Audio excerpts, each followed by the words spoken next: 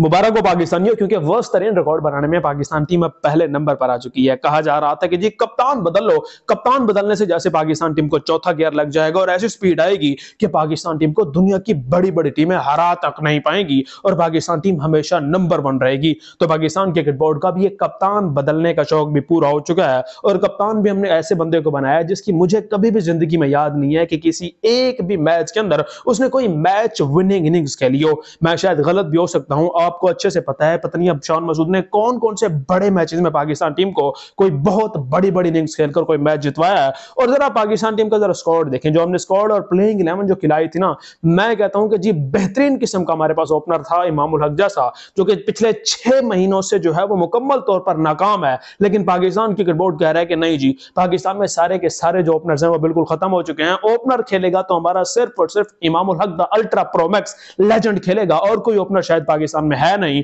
सिर्फ़ और सिर्फ़ हम इसी को ही ओपनर खिलाएँगे। और उसके बाद मिडिल ऑर्डर में हमारे पास द अल्ट्रा प्रोमैक्स हमारे कप्तान शान मसूद साहब आ जाते हैं, जो कि आज के मैच की अगर हम बात करें तो आज सेंचुरी थे, वो सिर्फ़ अट्ठानवे रन दूर थे और उससे पहले ही आउट हो गए। काश के वो सेंचुरी बना देते, सिर्फ़ और सिर्फ़ अट्ठानवे रन पीछे रह गए थे जान मसूद। तो ये परफॉर्मेंस थी जान मसूद की और किंग बाबर आज़म को पता नहीं क्या हो गया यार। वो अच्छा भला खिलाड़ी था, मुझे लगता है कि कप्तानी से जो उनको हटाया है ना तो यही प्रेशर भी उनके लिए बहुत है, क्योंकि ये थोड़ी बहुत बेजती फील कर रहे हैं, क्योंकि टेस्ट क्रिकेट में उनकी शायद एवरेज पहले चौवन थी, या फिर साठ थी और अब चौवन आ चुकी है, और टी ट्वेंटी क्रिकेट में उनकी एवरेज पचास थी और अब शायद पैंतालीस आ चुकी है, मैं शायद गलत भी हो सकता हूँ, और वनडे में भी शायद अड़तालीस थी और अब बयालीस आ चुकी है उनकी एवरेज तो हमेशा से जो है वो डाउन डाउन आते जा रहे हैं जनवरी 2023 से लेकर अब दिसंबर 2023 आ चुका है, बाबर आज़म की परफॉर्मेंस बिल्कुल ज़ीरो है, कहीं पर भी इन्होंने कोई मैच विनिंग इनिंग्स नहीं खेली, एक दो मैचेस में शायद अच्छा खेल गए हो, लेकिन वहाँ पर भी बाबर आज़म की कोई ओवरऑल परफॉर्मेंस हम 2023 में देखें तो कोई बेहतरीन किस्म की नहीं है, और जो ऑलराउंडर हमारे पास है ना,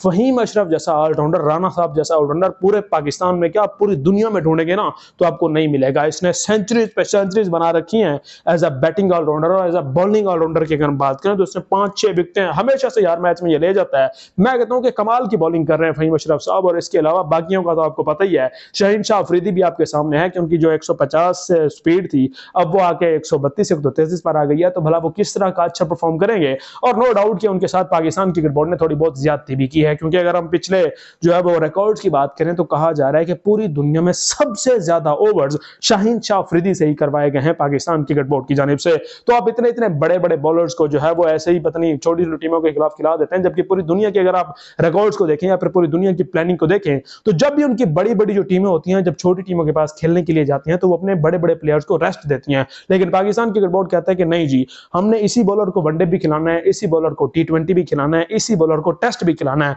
हारिस रऊफ ने थोड़ा बहुत इनकार किया तो उसके बारे में पता नहीं क्या से क्या बातें हो गई। और मोहम्मद हफीज साहब भी उनका अब मैं क्या कहूँ, अगर हम विकेट कीपर की बात करें, उसके बारे में भूल गया हूँ विकेट कीपर तो हमारे पास अल्ट्रा प्रोमैक्स से भी अल्ट्रा प्रोमैक्स है, और Sarfaraz Ahmed the ultra pro max legend हमारे पास विकेट कीपर थे, जिन्होंने बेहतरीन किस्म की परफॉर्मेंस दिया कैचेस भी छोड़े, और बैटिंग भी किसी काम की नहीं की। और मोहम्मद हफीज साहब उनके बारे में कहते हैं कि जी, सरफराज अहमद कोई नए नहीं है, जिनको हमने सेलेक्ट किया हो, वो शुरू से ही जो है वो खेलते आ रहे हैं, ऑस्ट्रेलिया में भी उन्होंने खेला है, न्यूजीलैंड भी खेले हुए हैं जनूबी अफ्रीका के अंदर भी खेले हुए हैं। तो मैं ये नहीं कह सकता कि वो कोई अच्छे प्लेयर नहीं है भाई। अच्छा प्लेयर हो या ना हो ऑस्ट्रेलियन कंडीशन के अंदर आपको उसी मैार का जो है वो विकेट कीपर लेकर जाना पड़ता है। बैटिंग का मुझे नहीं पता कि रिजवान अच्छी कर जाते या फिर नहीं, लेकिन at least wicket keeping Mohammad Rizwan Sarfaraz Ahmed से काफ़ी ज़्यादा अच्छी और बेहतर तरीके से कर सकते हैं। बाकी यार, अब मैं क्या कह सकता हूँ पाकिस्तान की टीम की परफॉर्मेंस पर, कभी भी ज़िंदगी में ऑस्ट्रेलिया से कभी भी कोई सीरीज़ नहीं जीती जब से पाकिस्तान टीम बनी है। कभी भी हम ऑस्ट्रेलिया से कोई सीरीज़ नहीं जीते। अब इससे पहले सीरीज़ से पहले मोहम्मद हफीज साहब कह रहे थे कि हम यहाँ पर सिर्फ़ कंपीट करने नहीं आए